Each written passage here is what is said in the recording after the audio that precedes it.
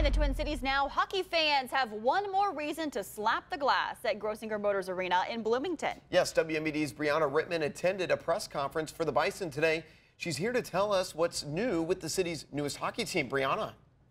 Yeah, Rebecca Thomas hockey fans gathering at the Grossinger Motors Arena received a two-for-one special with the announcement of the Bison's NHL affiliation and the introduction of the head coach. Three, two, one. At a press conference on Thursday, the Bloomington Bison announced its National Hockey League affiliation with the New York Rangers. This affiliation means more than just games.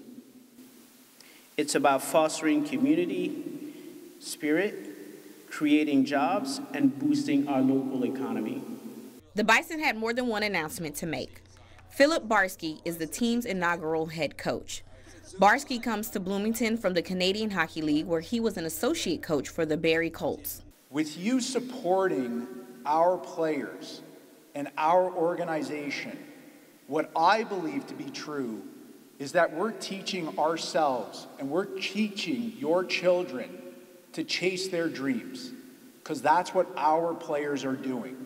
And that's what they're going to be doing here. Also at the press conference, a moment of silence was held for Scott Allen. Allen was the vice president of operations for the Bloomington Bison. He died Monday in a car accident. If you knew him, he, tremendous person, full of energy, full of enthusiasm, just a great guy, great with the fans, great with the kids, great with the players. The Bloomington Bison is a team in the ECHL. The affiliation is a five-year agreement creating an avenue for players to reach their goal of playing in the NHL. The thing that I'm most committed to is developing young hockey players. And I'm committed to seeing these young players live their dream and make it to the NHL. Now, did I say a two for one special? Let's make it three. Behind me is a picture of Stéphane Matteau. He is known for scoring the game-winning goal in double overtime for the New York Rangers in the 1994 Eastern Conference Finals. Now, that clinched the Rangers spot in the 1994 Stanley Cup Finals, which they won.